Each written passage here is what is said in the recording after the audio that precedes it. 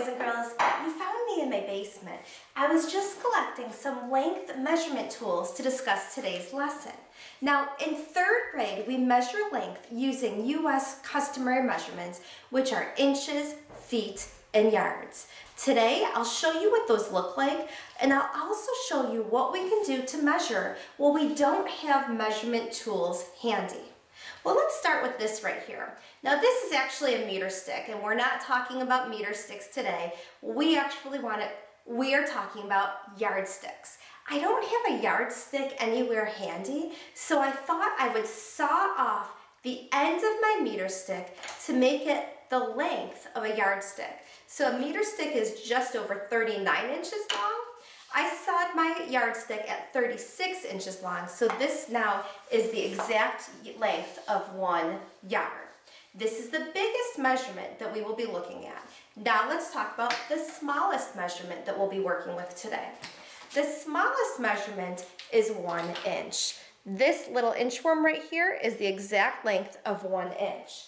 If you were to snap 12 of these inches together with no gaps, no overlaps, just like we talked about when we learned area, if you snap 12 of them together, you would have exactly one foot. Therefore, one foot is equal to 12 inches. So again, we have our inch, our foot, and our yardstick. But what happens when we don't have these tools available? Can we still measure things? Well, actually, yes, we can. What we need to have in our mind is a benchmark or a visual of what these measures look like. So for example, for, let's start with the inch. Now, a lot of times I don't have a ruler handy, yet I'm trying to figure out how many inches long something is. The other day I was at the store shopping for school supplies for my son, and his teacher wanted me to pick up 3 inch by 5 inch index cards. Well, I don't carry a ruler with me typically, but I needed to measure the cards to make sure they were the same length. Well, I know the edge of my thumb is the same length as 1 inch, so with no gaps or overlaps, I measured to see how long the index cards were. One inch, two inches, three inches. So when I don't have something handy to measure in inches, this is my benchmark or my visual for one inch. Now, what can I do for one foot? I used to think I could just measure, well, I used to think I could just measure my feet, but I realized I have really small feet and most people actually do not have a foot measuring one foot in length.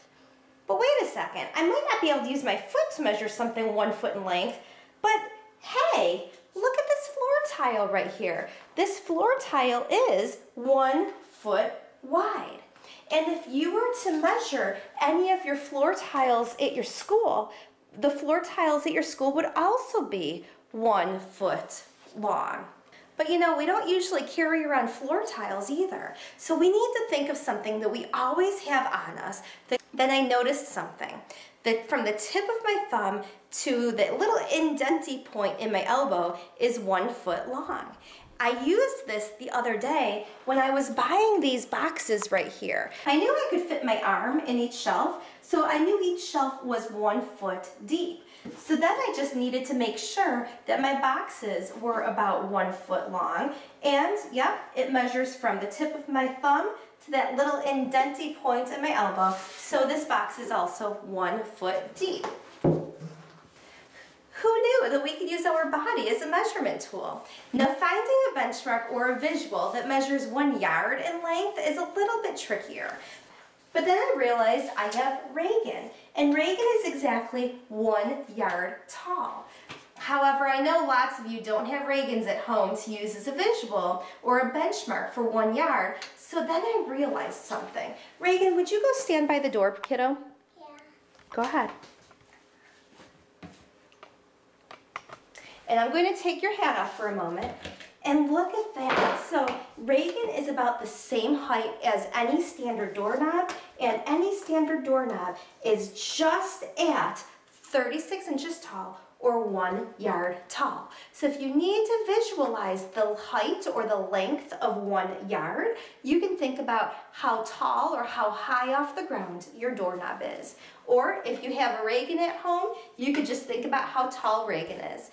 So boy, boys and girls, I have one challenge for you today. There's going to be lots of times in your life when you need to measure something and you don't have measurement tools handy. So today, your challenge is to look around your house and find things that measure one inch in length, one foot in length, and one yard in length.